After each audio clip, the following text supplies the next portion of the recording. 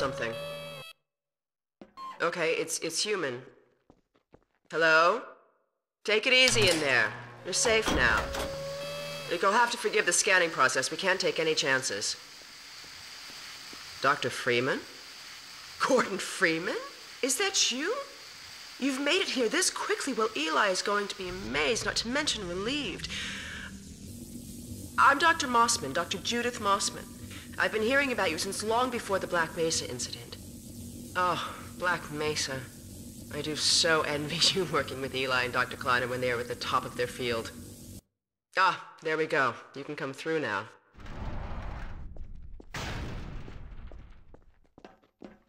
I'll take you down to Eli right away. He would never forgive me if I kept you waiting.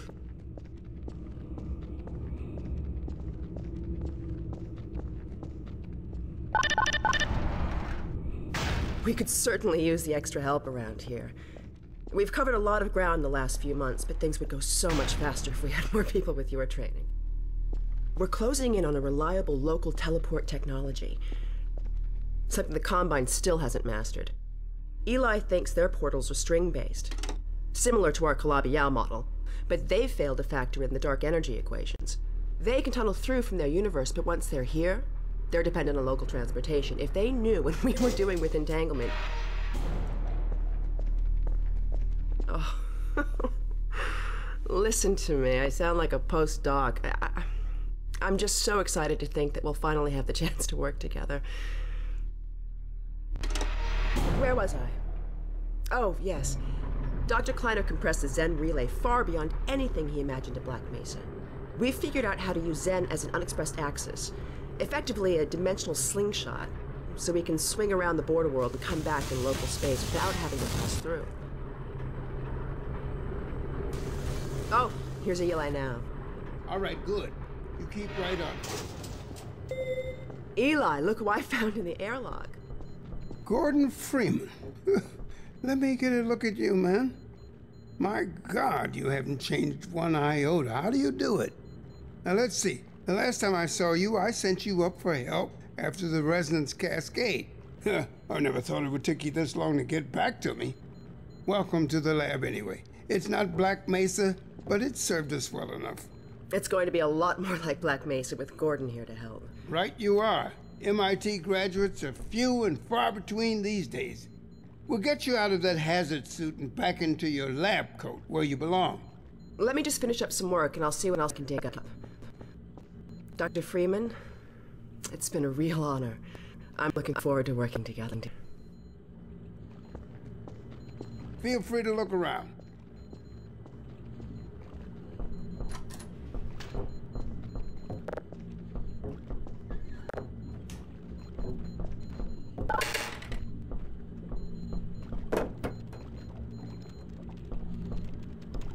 We've almost got that portal working again. But I wouldn't blame you if you didn't volunteer for the next trial run.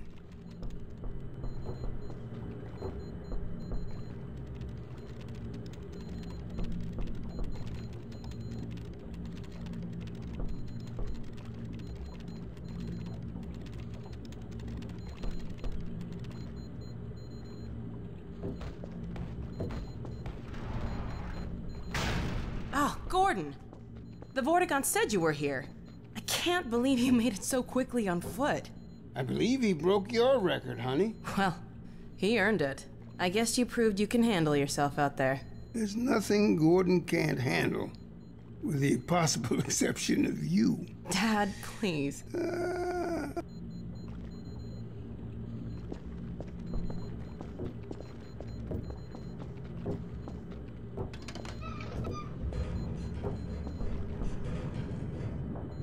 Take a look at this, Gordon.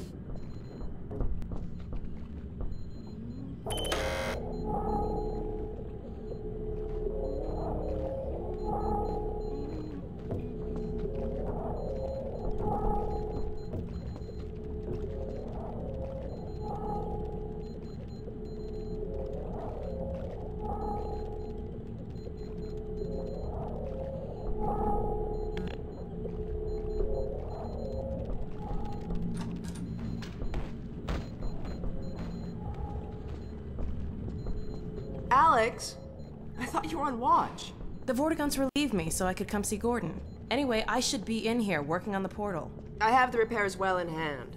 Someone misjudged the capacity of the Combine thyristor. Are you blaming me? No, not at all. It was a calculation error, not a mechanical problem. Then maybe you should let me do the calculations next time as well as installing it. Alyx, really? Sometimes I think you deliberately misunderstand me. Alyx, why don't you take Gordon along and give him some practice with the gravity gun? Sure. Come on, Gordon. Let's go have some fun. The zero point energy field manipulator is not a toy, Alyx. Ugh, let's get out of here.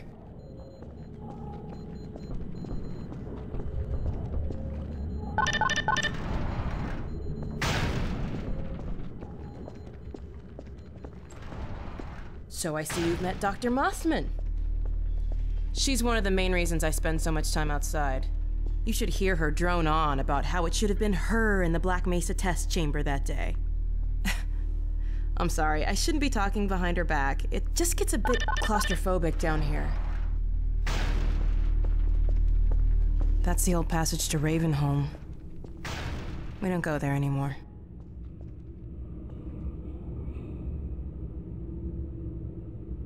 Come on.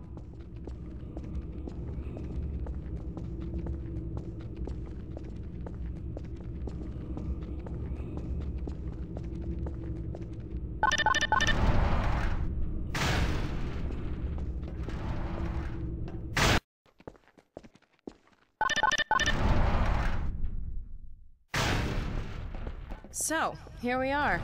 The scrapyard. This is a gravity gun my father was talking about.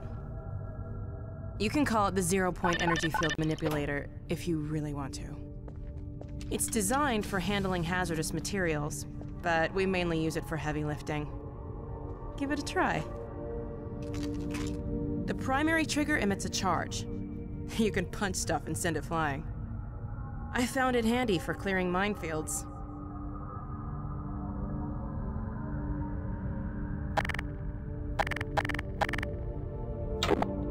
The secondary trigger lets you grab things.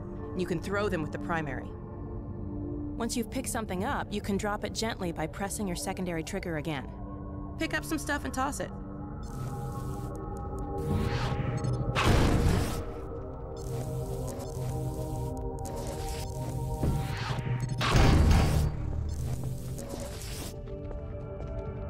You can also pull stuff over from a distance.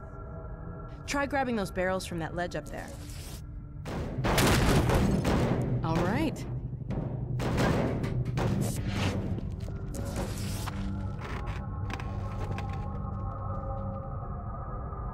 See if you can stack some stuff to climb up here.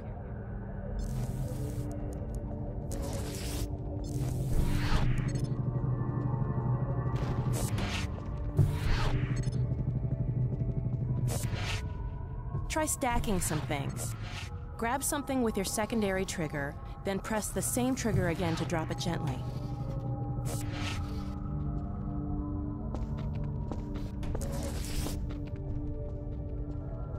You can place objects by moving them into position and hitting the secondary trigger again.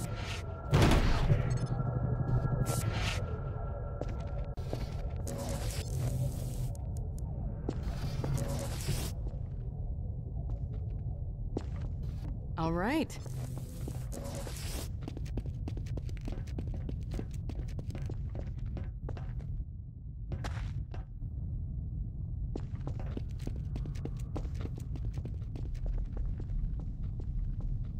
Now let me call Dog. He loves to play fetch. Dog! Come!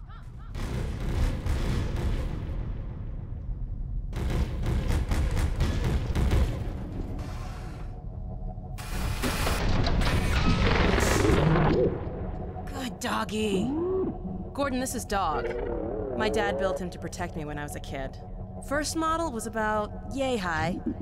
I've been adding to him ever since. Haven't I, boy? Okay, Dog, let's play catch with Gordon. You'll need to use the gravity gun. Go ahead, Dog. Throw!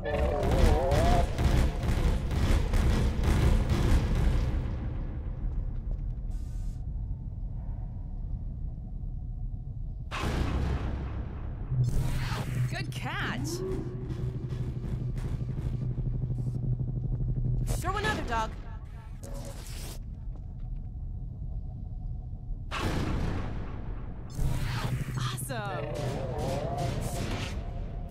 One, dog.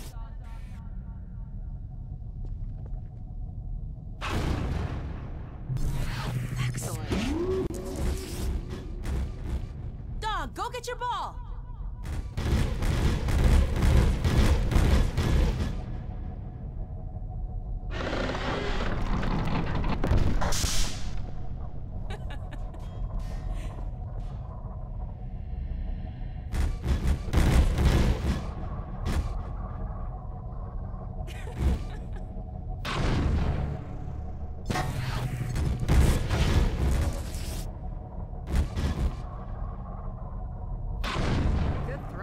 incredible.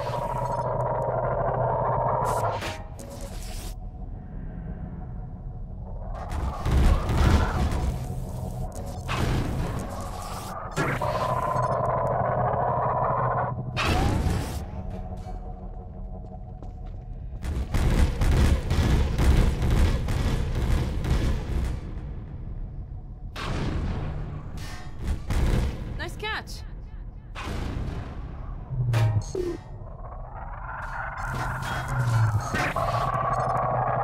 I told you dog liked to play fetch, I didn't tell you who'd be fetching, did I?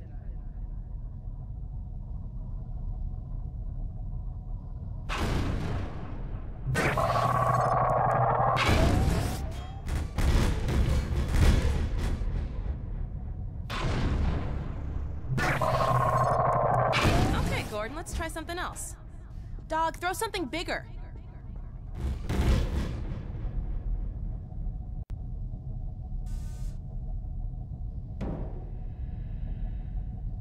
No, dog. No, no, boy. Down. Put that down. What is it, dog? Oh my god, what was that? Scanners! Oh, Combine sweeping the area! We've got to head back to the lab. Come on, Gordon!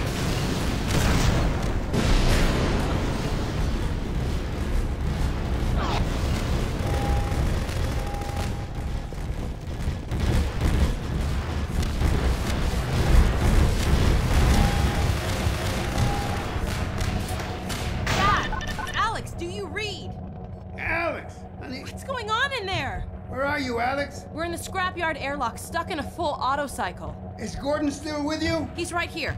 Good. I want you to Dad? take Gordon out of here. Head for the coast. Do not go through Rape. Dad? Dad! Damn it! Dog, open the airlock. Get us out of here. Hurry, now! Tear it apart if you have to. Just get it open. That's enough, dog. Gordon.